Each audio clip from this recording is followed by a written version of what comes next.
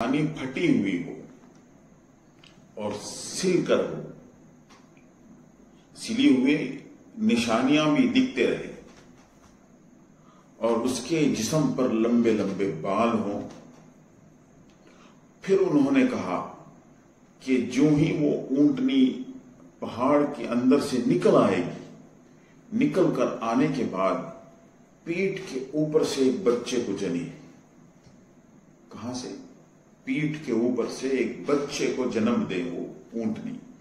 اور اس کا بچہ بھی ہو بہو ویسے ہی ہو جیسا ماں ہے۔ اس کا بھی پیشانی پھٹا ہوا ہو، اس کو بھی سلے ہوئے ہوں اگر آپ اس طرح سے کر سکتے ہیں، تو ہم آپ کی بات مان لیں گے۔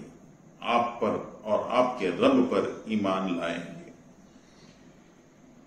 تو حضرت صالح علیہ السلام نے کہا کہ اگر تم ایمان لانے کے لیے تیار ہو، تو میرا اللہ بڑی قدرتوں اور طاقتوں والا ہے۔ یہ جو تم نے کہا ہے، یہ میرے اللہ کے لیے بڑا کام نہیں ہے، بڑی چیز نہیں ہے۔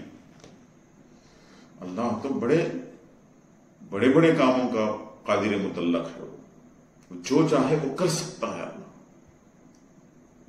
تو حضرت صالح علیہ السلام والسلام اللہ سے دعا کرتے ہیں۔ اللہ سے دعا مانگتے ہیں۔ یہ دعا بڑے بڑے کام کروا دیتی ہے۔ اللہ سے تعلق جوڑنے کا نام دعا ہے۔ اللہ سے لینے کا نام دعا ہے۔ اللہ کے سامنے ہاتھ پھیلانے کا نام دعا ہے۔ اللہ کے طرف رجوع ہونے کا نام دعا ہے۔ دعاؤں سے جتنے کام بنتے ہیں نا دوستو کوئی اور راستہ نہیں ہے اللہ سے لینے کا۔ ایک واحد راستہ ہے، جیسا بندہ خدا ہی کو سجدہ کرتا ہے۔ ٹھیک اسی طریقے سے دعا بھی اللہ ہی سے مانگتا ہے۔ ایمان کی جھلک ہے دعاؤں میں، ایمان کا نور ہے دعاؤں میں۔ دعا وہی مانگتا ہے جو اللہ کو گنی سمجھتا ہے، اللہ کو عطا کرنے والا سمجھتا ہے، اللہ ہی سب کچھ کرنے والا سمجھتا ہے۔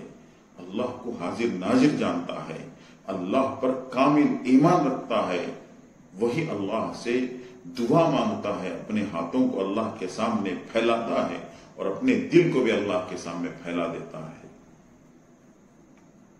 کتنی بڑی دولت ہے دعا۔ اگر دعا کا راستہ ہمارے نبی اللہ تبارک و تعالی ہمیں نہیں بتاتا تو شاید ہی اللہ سے مانگنے کا کوئی سلیقہ اور طریقہ ہمیں معلوم نہیں ہوتا تھا کہ ہاتھوں کو اٹھانا یا انداز دیکھیے۔ ہمیں سکھایا جو جو دعا مانگنے کا ڈھنگ ہمیں سکھایا گیا ہے وہ انداز دیکھیے کہ کس طرح سے اس طرح سے ہاتھ دیں اپنے ہاتھوں کو جھولی بنا کر کے اللہ کے سامنے اٹھائیں۔ کہیں اللہ، یہ ہاتھ خالی ہے، یہ ہاتھ خالی ہے، ان کو عزتوں سے بھر دے۔ ان کو حلال رزق سے بھر دے، حلال روزی سے بھر دے۔ اللہ ان ہاتھوں میں تیری محبت کو بھر دے، تیرے نبی کی محبت کو بھر دے۔ اللہ، ان ہاتھوں میں تیری شریعت کو بھر دے۔ اللہ، ان ہاتھوں میں دنیا کی برکت کو بھر دے۔ کیا کیا نہیں مانگ سکتے دوستوں دعاؤں کے ذریعے سے اللہ سے سب کچھ مانگ سکتے ہیں، سب کچھ لے سکتے ہیں۔ اللہ دینے کے لیے تیار ہے۔ ہم بس لینے کا ڈھنگ اور سلیقہ طریقہ ہمیں نہیں آتا۔ یہ کیا ہم دعا مانگ رہے ہیں؟ یہ دعا تو نبیوں نے مانگا ہے، یہ دعا تو صحابہ نے مانگا ہے، یہ دعا تو تابعین نے مانگا ہے، یہ دعا تو طب تابعین نے مانگا ہے، یہ دعا تو اللہ کے ولیوں نے مانگا ہے، اللہ اللہ والوں کی پہچان ہوتی ہے دعا۔ اپنی اپنی ذات کی نفی ہوتی ہے، اللہ کی ذات کی حاضری ہوتی ہے۔ لوگ اپنی اپنی اپنی نفی کرتے ہیں، میں کچھ نہیں ہوں، اللہ تو دینے والا۔ اس کا مطلب یہ ہے کہ میں فقیر ہوں، تو گنی ہے۔ میں فقیر ہوں، تو گنی ہے، تو دینے والا ہے، میں لینے والا ہوں۔ دنیا میں ہر کوئی اللہ کے سامنے ہاتھ پھیلا سب فقیر ہیں، فقیر دوستوں ہاں۔ چنانچہ حضرت صالح علیہ السلاۃ والسلام بھی اللہ سے دعا مانگتے ہیں، اللہ سے کہتے ہیں، اللہ تو میری اور میری قوم کی گفتگو کو سنا ہے۔ اللہ تو بے شک بڑی طاقتوں والا ہے، بڑی قدرتوں والا ہے۔ تیرے یہاں تو انہونی ایسی چیز کوئی ہے نہیں۔ تو اگر چاہتا ہے تو ہونی ہی ہونی۔ اے اللہ یہ سب ہدایت پر آئیں گے، تیرے اوپر ایمان لائیں گے۔ دردناک عذاب والی جہنم سے بچ جائیں گے، ہمیشہ ہمیشہ کے لیے جنت میں جانے والے بنیں گے۔